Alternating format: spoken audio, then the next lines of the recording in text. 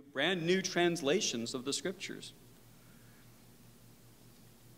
Um, I want to just, it's, it's a little bit difficult in this context, um, under these circumstances, to go through and show you just sort of how that scholarship works, but I'd be remiss if I didn't focus on, um, on at least a couple of examples to give you an idea of, of, of, of why moving along into new translations is of benefit and understanding sort of the, the, the issues that go along here. And I, I just, I'll explain these after we look at them, but here's, two pass- here's the same passage in two translations.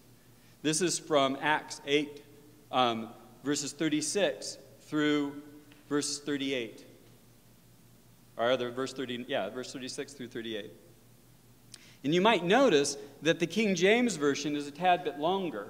In the New International Version, um, there's the, if you, look at, if you look in your New International Version Bibles, it says, uh, the eunuch says, Look, here's water. Why shouldn't I be baptized? And then apparently, verse 37 is a pregnant pause. And then verse 38 says, And he gave orders to stop the chariot.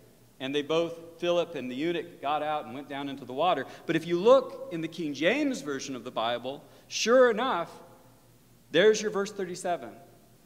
And Philip said, If thou believest with all thine heart, thou mayest. And he answered and said, I believe that Jesus Christ is the Son of God. And so they go down into the water, and the eunuch is baptized. Now, why would the New International Version come along and excise such an important passage that testifies to the significance of Christian baptism? Clearly, this is evidence that the, the, the newcomers in the block are undermining the orthodoxy of the scriptures. Unless, of course, we look at the underlying Greek text. And um, again, this has been talked about through the series, and I'll be glad to talk about it afterwards. But the underlying Greek text, called the Textus Receptus, that informs the King James Version, is, is, um, is a great, uh, it's, it's, a, it's the state of the art text in the 15th and 16th century but, it's, um, but by today's standards, we know a lot more. We have access to a lot more ancient Greek texts and earlier Greek texts. And so we have a lot better way of assessing the reliability and the nature of that Greek text. So this is actually the manuscript, the culprit. If we go back here, the, the missing line, verse 37, this is the culprit from uh, which caused this problem. Um, uh, pretty much, this is the earliest uh, uh, version of our earliest copy of the book of Acts that has this insertion. And what I've done is, this is from um, uh, Metzger's book on um, the textual criticism of the New Testament. What I've done is I've taken the, um, the, the, bottom line and explains that this is called Codex uh, Laudianus and um, uh, 35. And if you notice in the parentheses, it says it's the 6th of the 7th century.